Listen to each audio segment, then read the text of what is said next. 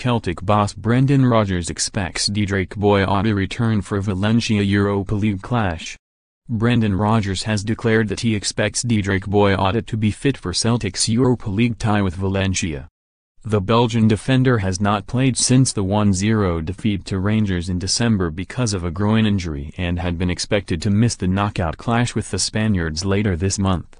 With Filip Benkovic already ruled out with a leg injury, Rodgers had faced the prospect of taking on La Liga opposition minus his favored central defensive pairing but revealed he will welcome Boyata back to training this week. Dedryck will join the training group this weekend, on Sunday, that's the plan, and after that he will be ready to rejoin the group, said the Celtic manager. He has been tied in his adductors and we didn't think it would be this long, but each time he has tried to go out and push it there's just been a slight tightness. Rodgers added four players to his first team pool during the January transfer window, with Jeremy Toljan joining Oliver Burke, Timothy Weah and Vakoun Bayo at Parkhead. UEFA rules mean a maximum of three names can be added to Celtic's Europa League squad and, with striker Bayo still deemed short of the requisite match fitness, it's likely that he will be the man to miss out. Toljan could make his debut in today's Premiership clash away to St Johnstone and Rodgers has called for his team to show greater concentration levels as they attempt to improve on an away record that has fallen below normal standards this season.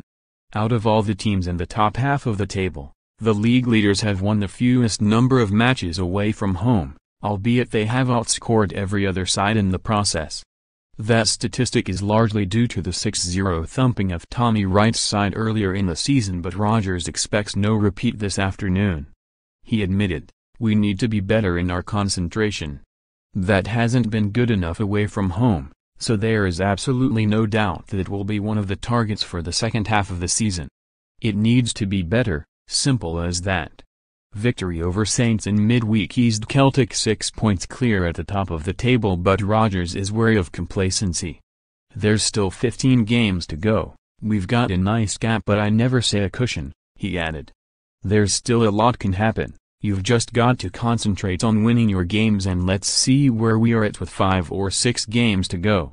It was interesting speaking to Tommy, Wright, the other night. About the intensity and the team was impressive in terms of they couldn't get out.